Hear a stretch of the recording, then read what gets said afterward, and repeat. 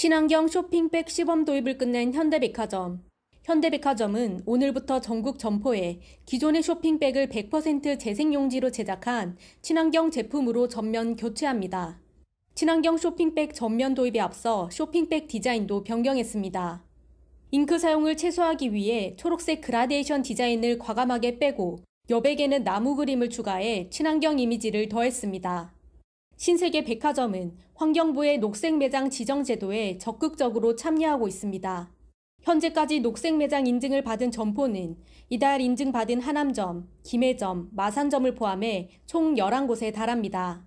이와 함께 사탕수수 섬유소로 만든 친환경 종이 bagasse 펄프를 전 점포로 확대하고 zero waste 백화점으로 거듭난다는 계획입니다. 롯데 백화점은 6월 한 달간 ESG 캠페인을 진행하고 오는 8월까지 ESG 관련 6개 브랜드에 대해 릴레이 형식으로 pop-up store를 선보입니다.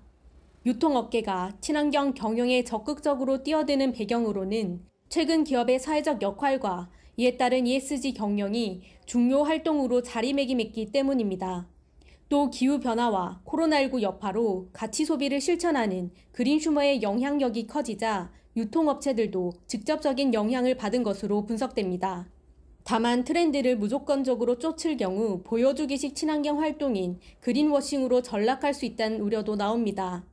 대기업이 친환경을 선도한다라는 이미지를 주기 때문에 그린워싱으로 될 가능성이 굉장히 크다 이런 얘기죠. 소비자들이 관심을 가지고 보다 더 실천 가능성이 있고 환경에 도움이 되는지를 평가할 수 있어야 된다.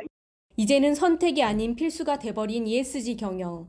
유통업계가 지속적이고 실효성 있는 방안을 통해 친환경 기업으로 거듭날 수 있을지 관심이 모아집니다. 이데일리 TV 이지은입니다.